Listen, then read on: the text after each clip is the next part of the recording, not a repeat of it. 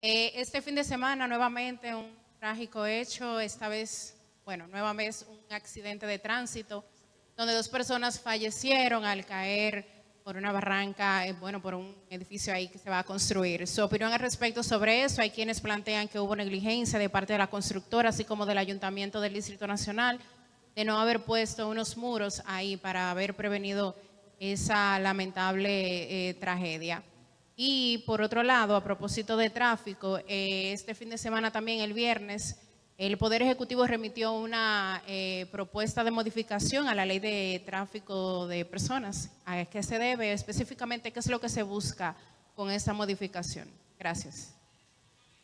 Y la modificación de esa ley es específicamente sobre unos artículos y eh, sobre, la, sobre la ley vieja, sobre, sobre la ley que, aplica actualmente, que, son necesarios para mayor eh, poder tener mayor posibilidad de acción contra eh, las personas que tratan con, personas, la trata de personas y, todo ese sistema criminal que hay bajo, bajo esa que trate esa ley. Eh, sobre el tema del accidente, es muy penoso.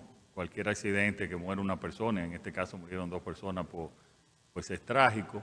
Vamos a, cada vez que pasan este tipo de situaciones y de eventos, normalmente, eh, y ya lo hemos hecho, pedimos un informe a ver cuál, dónde están las responsabilidades y actuamos en consecuencia. Vamos a ver qué nos dice ese informe y actuar en consecuencia. La verdad que eh, hay muchas construcciones en, Santo Domingo, muchas, eh, y, por eso nos gustaría ver los, reportes y específicamente qué pasó en este caso.